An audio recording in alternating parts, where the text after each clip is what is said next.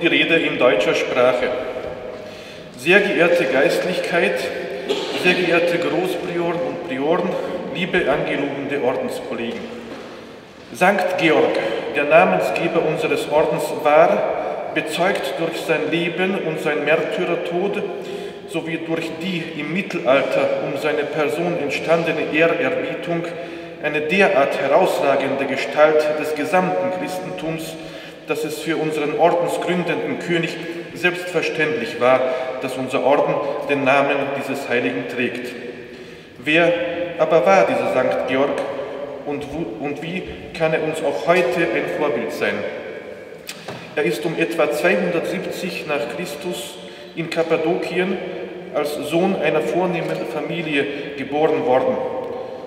Über seine Erziehung wissen wir nicht sehr viel, es ist jedoch gewiss, dass seine gut situierte adelige Familie ihn sehr sorgsam auf ein adeliges Leben vorbereitet hat. Er las in griechischer und lateinischer Sprache die bedeutenden Werke der Antike. Da man ihn für die Militärlaufbahn vorsah, war man auch um seine physische Kondition bemüht. Als Erwachsener war er ein hervorragender Schwertkämpfer. Durch seine offene und freundliche Art, seine vielseitige Bildung und durch seine Kameradschaftlichkeit konnte er sich viele Freunde in Militärkreisen sichern.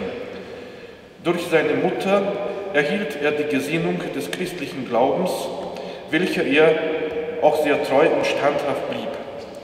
Während der Christenverfolgungen stand er tapfer zu seinem Glauben und wurde deswegen im Jahre 303 nach Christus in Lüder hingerichtet.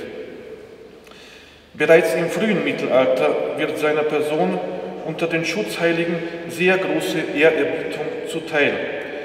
Soldatenheiliger wird er im Hochmittelalter. Sein beispielhaftes Leben, sein starker christlicher Glaube und sein Märtyrertum ließen ihn aus den Reihen der Heiligen emporsteigen. Er war nicht nur in vornehmen Kreisen, sondern auch im Umfeld der einfachen Handwerker und Bauern sehr beliebt.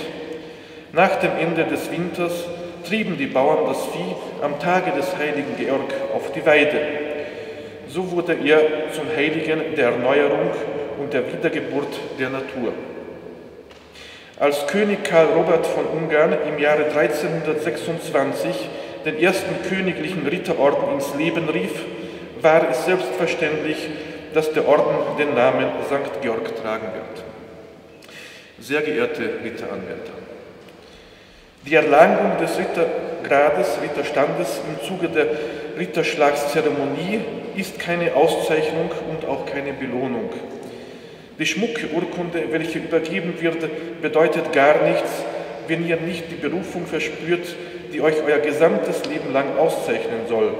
Die kameradschaftliche Vereinigung der St. Georgsritter kann ihre erhabene Tätigkeit nur dann ausüben, wenn ihr als eine Gemeinschaft zusammenarbeitet und einander helfend und unterstützend zur Seite steht. In unserer heutigen Welt ist die Einheit beispielgebend, das Ergebnis der geleisteten Arbeit wird hierdurch vervielfacht. Für euren bevorstehenden Dienst wünsche ich euch christliche Geduld, Ausdauer und gute Gesundheit.